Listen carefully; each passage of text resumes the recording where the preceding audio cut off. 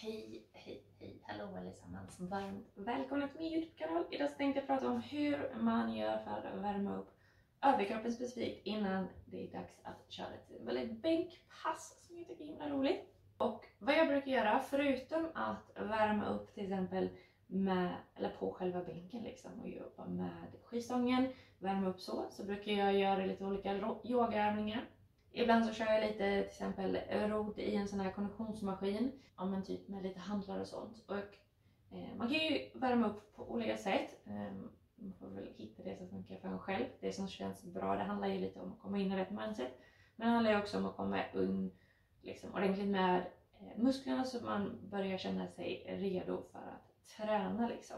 Det man ska tänka på, eh, ni kanske har sett min benuppvärmningsvideo, men det man ska tänka på är ju att eh, liksom inte jobba med ytterlägen utan vi vill jobba med lite dynamiska rörelser så att man inte liksom står stilla och pressar och pushar sig själv i uppvärmningen. Liksom. Utan vi vill komma igång, få upp lite flås eh, och jobba med olika typer av ja, men kanske lite rörlighetsövningar men också för att liksom, få upp lite pump i musklerna liksom, så att vi orkar ta i. Och en bra sån övning är att göra lite armhävningar Eh, och då kan man göra på liksom många olika sätt. Jag tycker det är bra att variera. Då kanske man vill jobba med väldigt eh, breda armhävningar en och sen kanske man flyttar in, ändrar position på armarna. Kanske vill man jobba med händerna väldigt långt ner. Kanske vill man jobba långt fram. Och så kan man göra på många olika sätt. Här kanske vi vill också jobba med eh, att rulla fram och tillbaka här.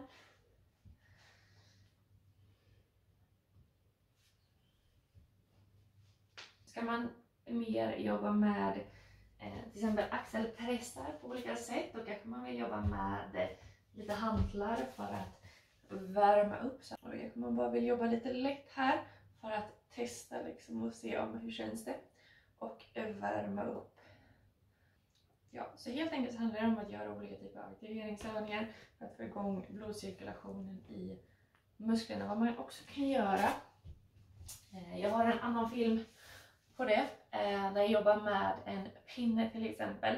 Eh, och då kan man bara hålla i en pinne eller ett gummiband eller vad man nu har och jobba med att komma bakom och runt för att värma upp i axlarna. Liksom.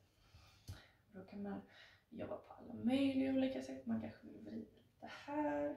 Man kan liksom cirkulera runt. Nu får ni bara tänka er att jag håller i en pinne här. Eh, och det finns ju massa olika varianter man kan göra. Det tycker jag är väldigt skönt och brukar jag göra inför eh, mina benpass, eller överkroppspass helt enkelt. Eh, och det är bara för att få igång liksom, cirkulationen och muskulaturen här. Men sen så brukar jag också göra som jag sa, eh, göra de här övningarna som en del av min uppvärmning. Eh, fast man gör det liksom mycket lättare än vad det är man ska träna på. Liksom, så att man inte bara eh, om man gör fem minuter i roddmaskinen eh, och sen så går direkt på sin träningsvikt. Liksom. Utan om du ska köra bänkpress eh, och du kanske ska jobba på 50 kilo.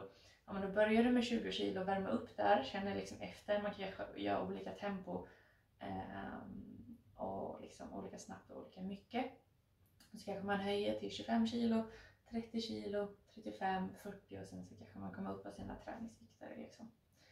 Så det helt enkelt handlar om att både eh, kanske göra lite rörlighet eh, och sen eh, om jag jobbar till exempel med armhävningar eh, eller vad det nu är som eh, du ska värma upp inför.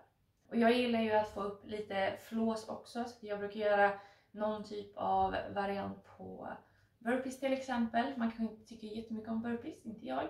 Men man kan göra liksom olika varianter. Man kan göra eh, lite alla möjliga olika övningar. Man kan... Hoppas att du har fått med dig någonting av den här filmen. Tack så jättemycket för att du kikade. Glöm inte att trycka på tumme upp så hjälper du mig nå ut till andra också.